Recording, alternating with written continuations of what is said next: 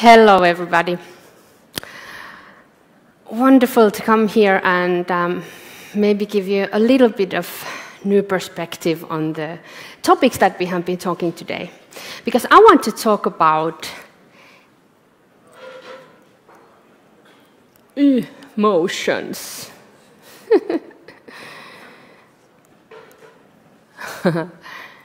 Technique is not working.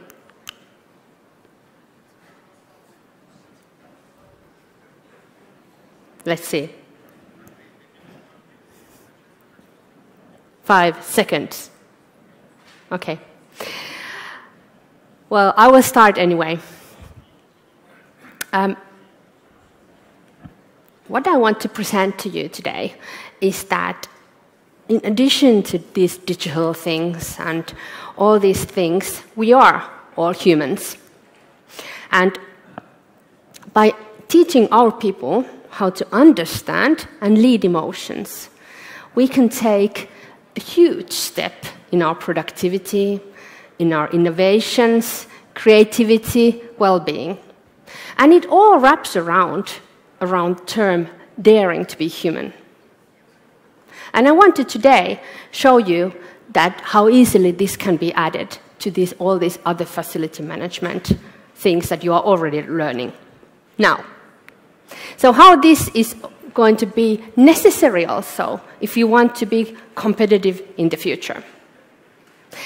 And now you might be thinking that uh, emotions, daring to be human, and business life, that doesn't really add up. And I agree.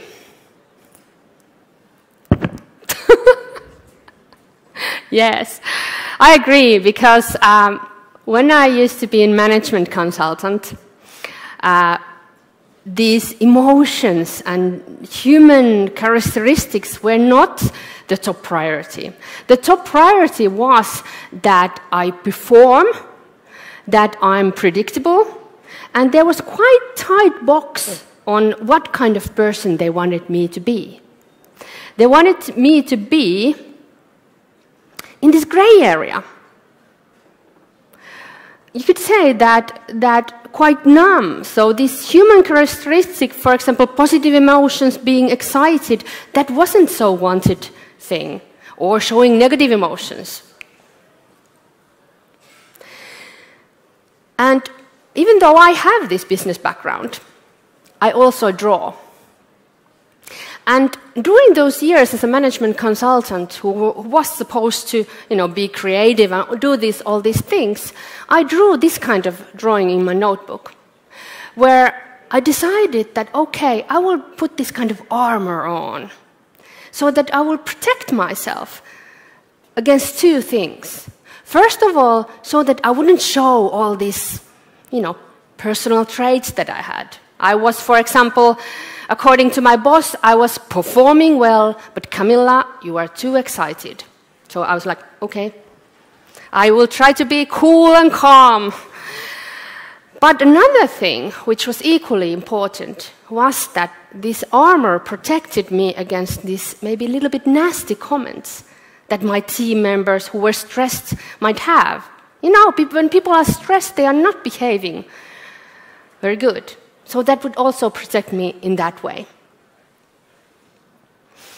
But now I want to stop here and think that how are these kind of people going to succeed in the future?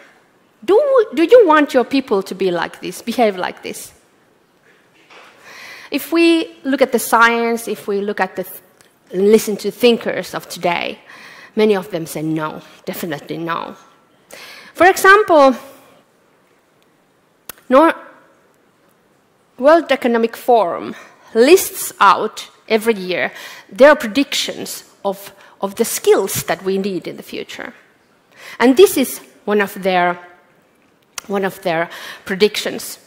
And if you look at the list, you can see that things like analytical thinking, creativity, complex problem solving, emotional intelligence, these are not the kind of skills that you can just read from the book. Yes, you can study, but you, you, you, you don't find one right answer to creativity, for example. Instead, it's more about your mindset and your ability to be and handle these, these more complex, uh, more not linear things, instead of just these linear logical things that we normally in the business life say. We say that, that behave this way. I was even ordered what to wear. All these things that are predictable. But all those things that World Economic Forum said, they are more like this kind of stuff that you just have to be comfortable with. And as we have heard, we're going to, going to get so much help from artificial intelligence and technologies, and it's amazing how they will, you know, process the information and give us the data and combine things. And we should really welcome them. But at the same time, we have a pressure, an opportunity to, as humans, to utilize the best part of, parts of ourselves, which are still quite, quite much ahead of the computers. Things like understanding social rules, that is really difficult to put into the algorithms that behave like this, and when somebody says this, then say this. Emotional intelligence, that is not linear. I cannot give you Excel on how to behave in this kind of encounter. Reading weak signals, combining strange things, these are all examples of what we humans are still better than computers. And I want to pick now one of the things from the list and really show you that how important it is that we teach our people to understand this kind of nonlinear things. And the thing is, my passion, emotions, which I teach to companies many times a week. And really, the possibility that when our people know how to handle and understand emotions, how much better we can perform. But many times when I say to my clients that, okay, emotions, they are like, yes, Camilla, this is really important because they know that, okay, they have to say that, you, yes, emotions are important. But they are saying that, um, yes, Camilla, but we are professionals. We are rational. We are like, uh, like, yes, these emotions are important, but we are concentrating on this linear logical stuff. But I say to them that actually, do you know that if you don't know how to handle this emotional side, you lose the rational side. Because, for example, fear, anxiety, stress, these are all huge triggers to us. They are no little things. They trigger our older system, this system that have three possibilities, fight, flight, or freeze. And in those situations when we have this kind of threat in front of us, and our system says that, okay, there's a threat, there's a lion, then our cognitive skills, this prefrontal cortex, which is, is the modern man's leading place, that is going to be second when the, when the older part takes over, because we have to stay alive. And, and really, I'm so excited that, you know, when we learn how to understand emotions, we understand that, for example, fear, it's really smart how it behaves. Fear, and this is the science of fear, fear makes our thinking really narrow. Because it was so smart system developed over millions of years that it says to our system that concentrate on the lion, concentrate on the threats. Don't look at the sunshine, don't look at anything else because now the most important thing is to stay alive. But what if our lion, our threat is the deadline, is the cognitive problem that we cannot solve? It's the client something happening there. And our thinking is narrow. It should be wide so that we could come up with a solution to our problem. And I drew this in my management consultant years when I was sitting on my desk and trying to solve Excel related calculation problem and I noticed how the energy the fear was putting on my body. I could feel it rushing in, in, the palms of my hands. They were sweating and stomach bubbling. That's the sign how the, the body is trying to give you energy to fight. And all the time, more and more mistakes came. Skills were going down. But this situation is, is not necessary. When people know how to lead their emotions and understand emotions, there are tons of things that they can do to cope with this situation.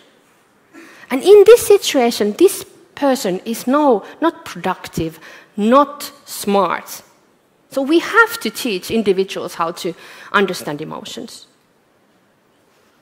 But what happens when this person goes and, you know, is in contact with, uh, with the client or with the team member? It's probably like this. He's, he or she is not hearing anything that the other people, person is saying. He's completely thinking about the problem and, and not being present and thinking about the future that, oh, God, oh my God, my deadline, how am I going to solve that problem? Wah, ba, ba. And the other one is feeling that, okay, you are not interested, you are not listening to me. And the, the team member will feel that he or she is not appreciated. The client feels that, okay, no. So our relationships at work will go down too.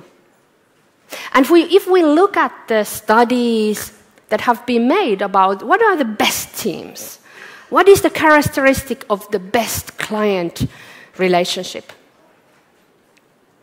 One of the top words that comes up is trust. That when we have trust with our client, then our client, you know, when he or she trusts us, he will be most often loyal, will most often not be price sensitive, will tell us about the problems, will tell us how we can develop. And of course, in teams, if we have trust, like Google's five year five year study concluded this psychological safety. When we have psychological safety, that's the, the, the characteristic of the best teams.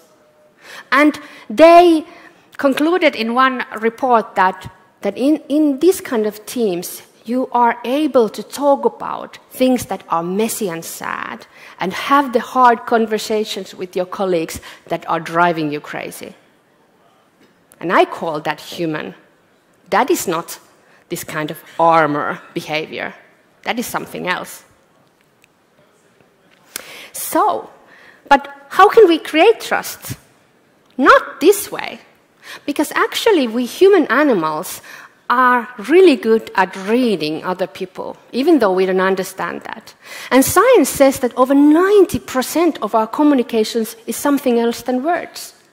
So if we are in with our client or with our colleague and we are trying to say the right things, we are not we are not trustworthy if our other communication channels are saying something else.